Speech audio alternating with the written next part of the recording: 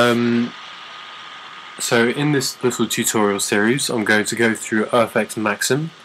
It's a C++ uh, DSP slash audio synthesis um, library that we can use in openFrameworks and uh, we're just going to be exploring a few of its features uh, and today we're going to make sound using an oscillator. Uh, we're going to route all the audio um, into a buffer and that's going to go off to our sound card.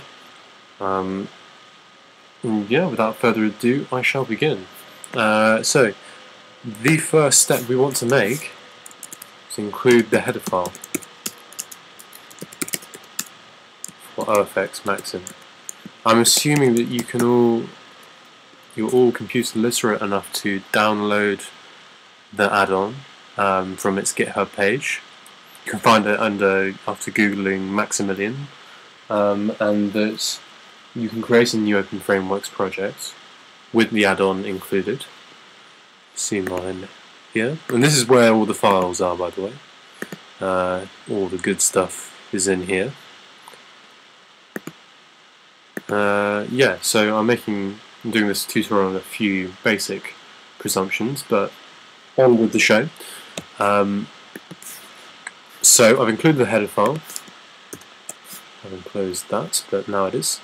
Uh, and the first thing you need to do is make a callback function that can uh, get the audio and route it to the um, sound card. And that's audio output. Has three arguments, a float buffer, um, it has uh, buffer size, which is an integer, and it has um, its uh, what else does it have? It has a number of channels. Okay, cool. Um, next thing is it has um, we need to what do we need to do? Get your head in the game. So we need to make an oscillator.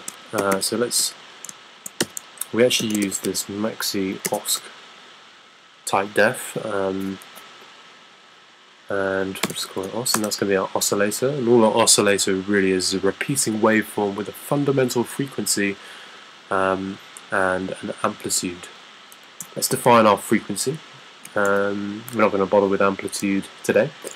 Um, so frequency, oh, that would be a double value. Double frequency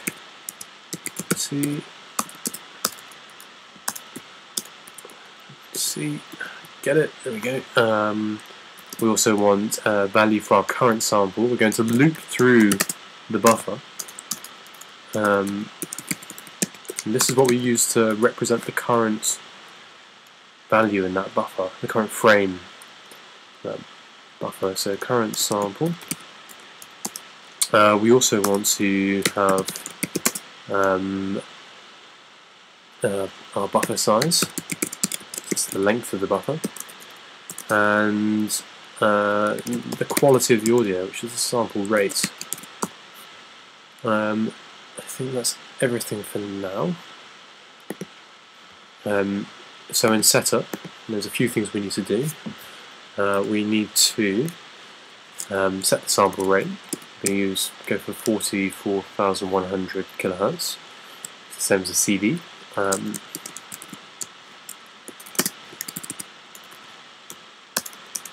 We will need to set the buffer size.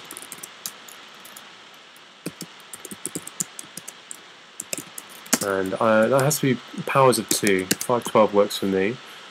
Um,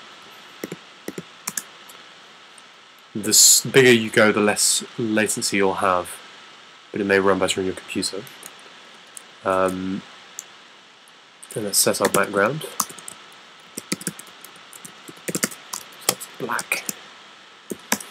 And we need to initialize our frequency value.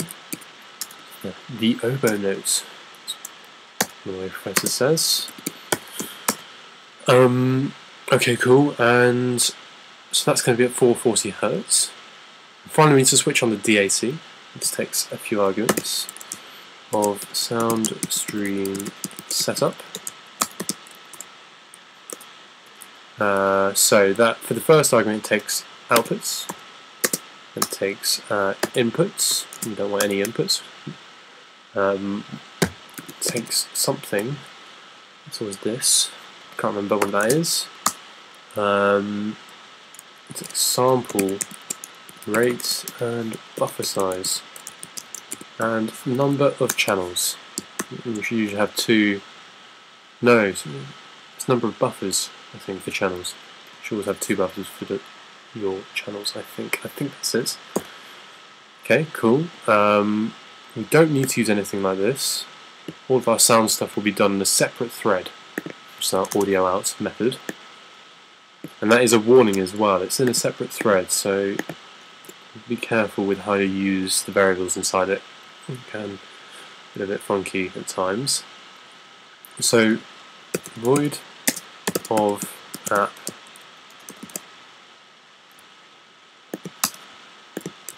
audio out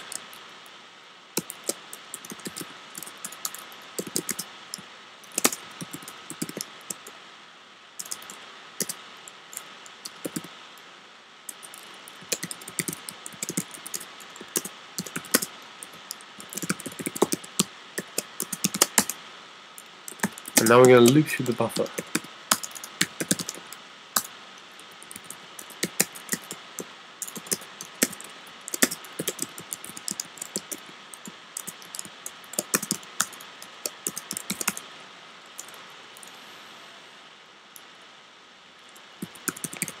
So we get our current sample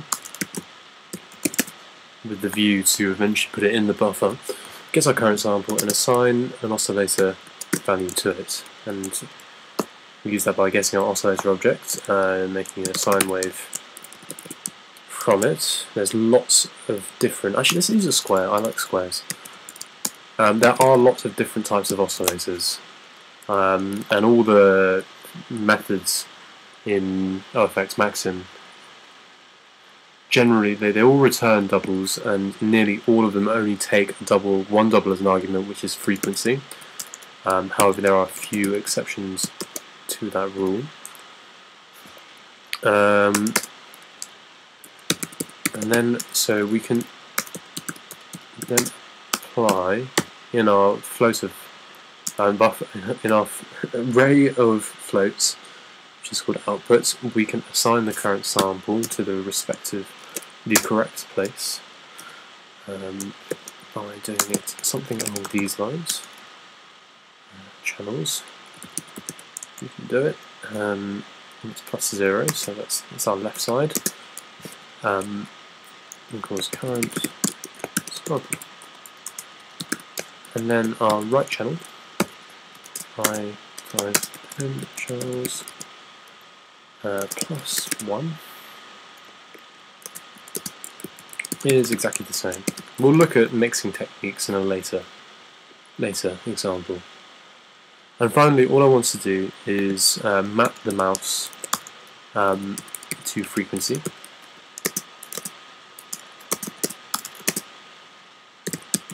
Let's cast that as a double, because I'm not sure if ofMap returns a double.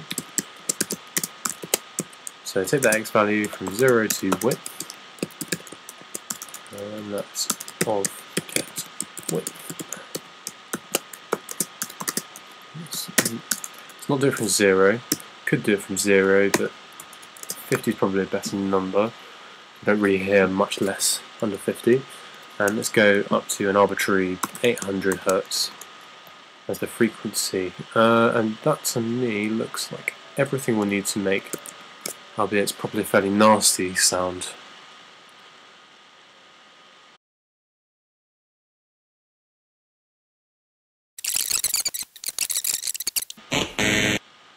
Okay, expected.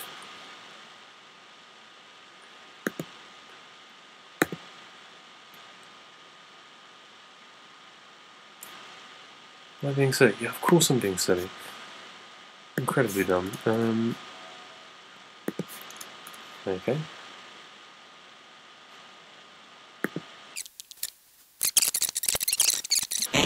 Um, okay, so it's more groove. Uh, doesn't match.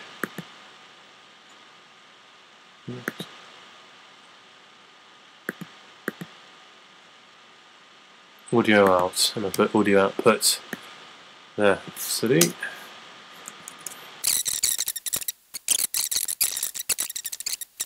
You ready for some noise? Some very horrible noise.